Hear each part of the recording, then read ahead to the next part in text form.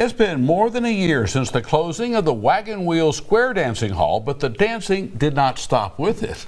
Now the dancing club is do-si-doing in the Key City, hoping to share the love of their art. Our Mariah Williams joined them for a few calls about the Wagon Wheel Squares. The country music is high, and the cheers are higher for the Wagon Wheel Squares. It's friendship set to music, and everybody has a very good time. Abilene Square Dancing Club is still dancing it out despite the closing of their hall home. We're just trying to spread the club out, let everybody know that square dancing is still here.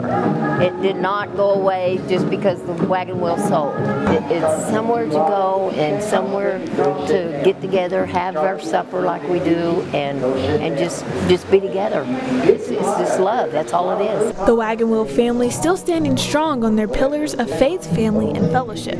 The same 50 years ago as today. They celebrated 50 years of being a club. I've done 45 years of being a square dance caller, so we had a double celebration. You have three families. You got uh, your relatives, and then you have your church family, and then you got your square dance family and everybody's friendly and everybody has a good time and that's what it's all about. That's, that's the only reason we come square dancing, just to have a good time. The club now ready to welcome new people with open arms.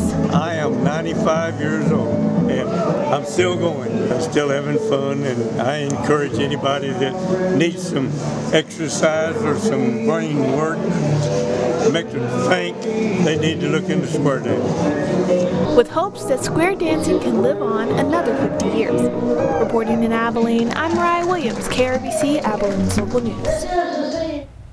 Thank you, Mariah. The Wagon Wheel Squares will be holding free classes. That'll be every Tuesday this month. It will be at the Alliance for Women and Children's Center starting at 7 p.m.